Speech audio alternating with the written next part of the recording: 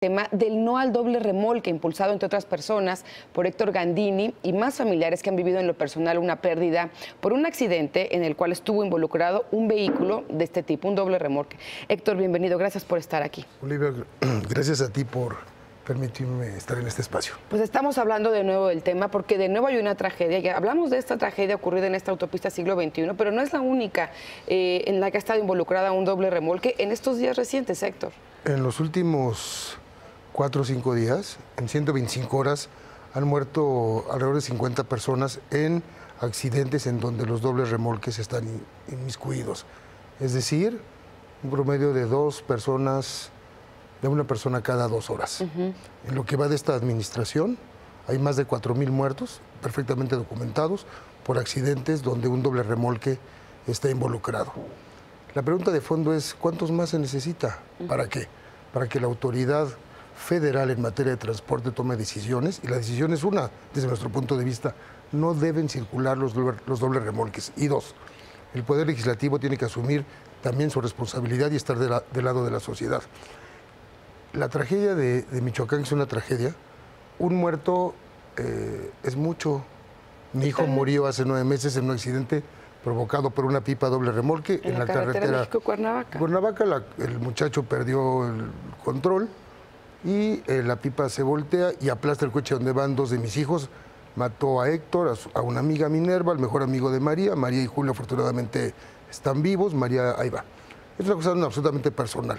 Y de ahí nos dimos a la tarea de por qué no deben circular los, eh, los trailers doble remolque.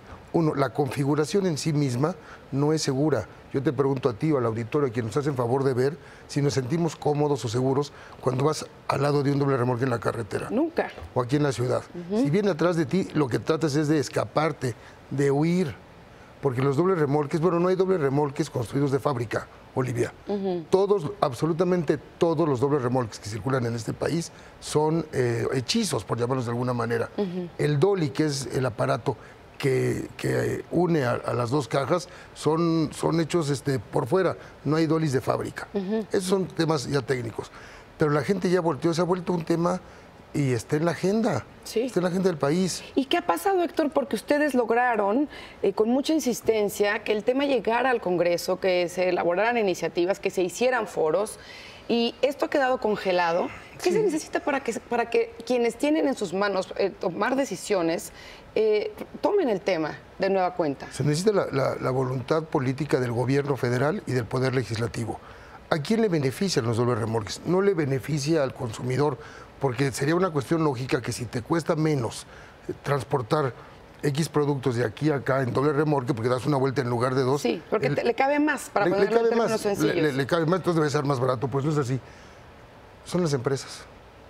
Yo no estoy en contra de los empresarios, sea claro. Me gusta que haya empresarios exitosos que paguen impuestos, que generen empleos. Pero hay empresas, hay que verlo, yo no estoy este, inventando. Las refresqueras, las cerveceras, las cementeras, las lecheras, las armadores de coches son quienes más utilizan el doble remolque. ¿Por qué? Porque se ahorran, se ahorran lana. Pagan un chofer nada más, eh, pagan un seguro muy, muy corto. Eh, ahorita que la nota de Michoacán, espérame, a mí el, sábado me buscó uno de los familiares de, las personas que, fallecieron y me dijo, y me lo dijo hoy también, me habló, se llama eh, Miguel Ángel Álvarez. Me dijo, oye, la aseguradora no quiere pagar ¿Por qué razón? Perdón que, que, un poquito. No quieren pagar porque dicen que el chofer del autobús de pasajeros tuvo la culpa porque invadió el carril donde venía el doble remolque, suponiendo sin conceder que estuviese pasado en esa carretera que no es de alta especificidad, porque es una carretera de un carril de ida y uno de, y uno de regreso, no debió haber estado ese doble remolque por ningún motivo. Para empezar. Para, empezar, están hechos, eh, o bueno, están permitidos que circulen en carreteras, este, en autopistas. Hay un, hay un aviso, aviso, porque así está aviso, en el diario oficial del 6 de abril, donde SCT dice que no pueden circular los, los este, transportes pesados.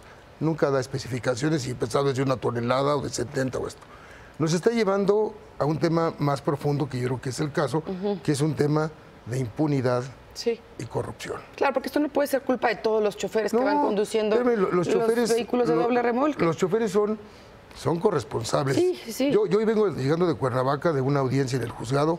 Hoy me senté a platicar con el chofer que iba manejando la pipa en la- el día del accidente de mis hijos. Sí. Yo se lo dije, eh, mira, yo no creo que tú te despertaste ese día con afán de matar a mi hijo. con una Me- intención. Me, queda claro, pero eres parte de toda una cadena de, de- de intereses y este tipo de cosas. Es un tema complicado. Hoy que pasé por el Paso Express, hay un problema en la falta de señalización. La- y se echan la bolita. SST es la autoridad responsable a final de cuentas. Está la constructora, una constructora española que se llama Aldesa, Sí. que no tenía perfectamente señalizado esto. Cuando entre el, el- el doble remolque, sin señales, sin los conos, con gente que te esté haciendo este, un tránsito muy pesado. Eso es, es un tema complicado, se tocan muchos intereses. Es un problema, no es un fenómeno, Olivia, porque los problemas se resuelven. Claro. Los fenómenos se administran. Es un problema que se puede resolver. Y yo estoy aquí, nada me va a devolver a mi hijo, nada le va a devolver la salud a María, nada, nada le va a devolver a Minero a sus papás o a Pato a sus papás, a Pato Flores Meyer. Eso no es. Claro. Pero creo que tenemos una, una tarea noble. No nos consideramos ni adalides de las carreteras. Es muy complicado hablar de un tema de, tan personal como esto en entrevistas.